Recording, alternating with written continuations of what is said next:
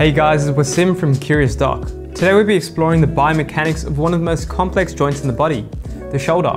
Thanks to Todd Oskin who came up with the brilliant idea for this video in part 1 of Biomechanics of Climbing. In this video, I'll be making the argument of why you need to engage and retract your scapula when climbing. However, the first thing we have to understand is the basic anatomy. Feel free to skip ahead if you know this already.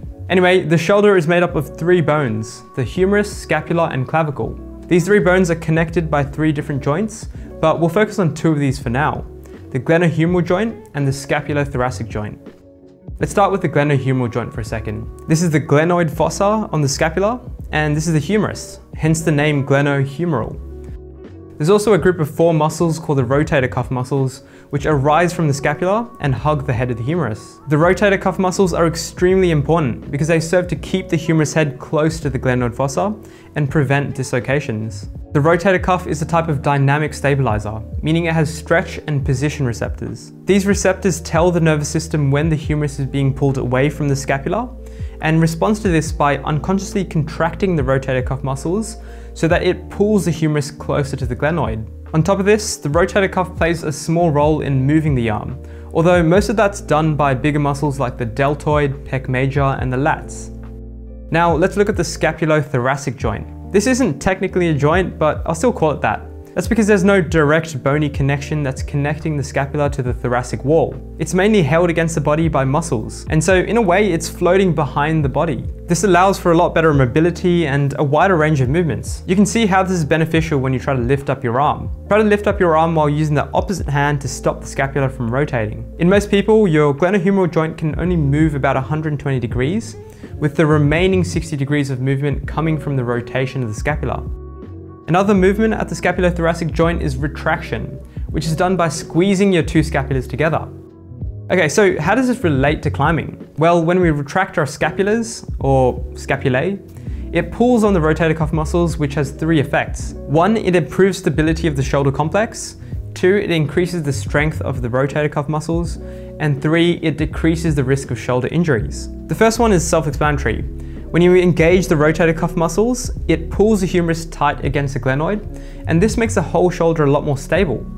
The only downside to this is that you sacrifice mobility, but I mean if you can prevent a shoulder dislocation, I'd say it's worth it. The second benefit of scapular retraction is that it increases the strength of the rotator cuff muscles. To understand this, we have to look at the length-tension relationship of muscles. To cut a super long story short, your muscles are made up of these interweaving fibers that look like this. When your muscle contracts, it shortens like this, and when it relaxes, it unwinds. The more overlap between these fibers, the stronger the contraction. So there's a sweet spot of maximum overlap when the contraction is at its strongest. When the scapula is not retracted, the rotator cuff muscles are loose, and the fibers don't overlap much, so you get weak contractions. When the scapula is retracted though, the fibers are much closer to their optimal length, leading to stronger contractions, and this helps the climber lift their body weight a bit easier. The third reason we want to retract the scapula is that it reduces the risk of shoulder injuries. If you try doing a pull-up without scapular retraction, you'll know what I mean. You'll be using muscles you didn't know you have and placing your arms in strange positions trying to lift yourself. This is because your strong shoulder adductors like the pec major and lat dorsi are too stretched out to work properly. So instead, your rotator cuffs will try to compensate and work much harder. However, the rotator cuff muscles are relatively thin and weak. They're great at being dynamic stabilizers of the shoulder, but when you ask it to do things like lift your body weight, you're begging for a shoulder injury. The biggest giveaway that a person isn't retracting their scapulars while climbing is when they do the chicken wings. This is when your elbows flare out like this. Here the rotator cuff muscles are forced to compensate for the biomechanical disadvantage by internally rotating the arm to lift the body. This excessive stress on the rotator cuff leads to tendonitis, which is inflammation of the tendons, or in more serious cases, a tear of the muscle. The other really common injury for climbers is subacromial impingement syndrome. The subacromial space is the space between the scapula and the humerus. A lot of things lie here, but it's important to realize that it's a closed space. So if anything repeatedly pushes up or impinges on the subacromial space, it will cause inflammation and pain. That inflammation and swelling will cause the space to narrow even further, which causes more pain and inflammation, leading to this vicious cycle. Not retracting the scapula can cause subacromial impingement for a few reasons. Firstly, when the rotator cuff muscles are loose, it causes the humerus to drift upwards and push up against the subacromial space. Secondly, if you're doing that chicken wing thing, the internal rotation of the arm actually pushes a part of the humerus into that space, called the greater tubercle.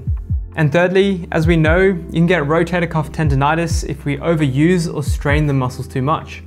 When this happens, the inflammation and swelling itself causes further narrowing and leads to that vicious cycle. You can see if you have subacromial impingement syndrome yourself by doing this simple test.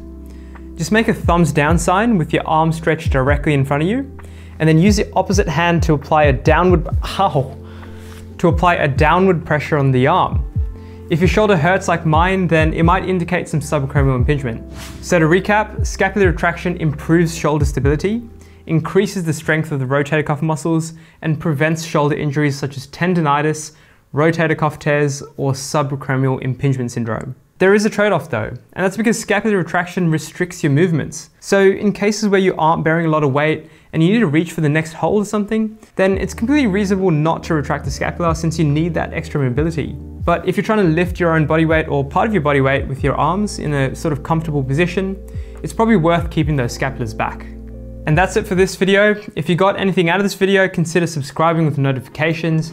And if you have any questions for me, leave a comment below. Cheers.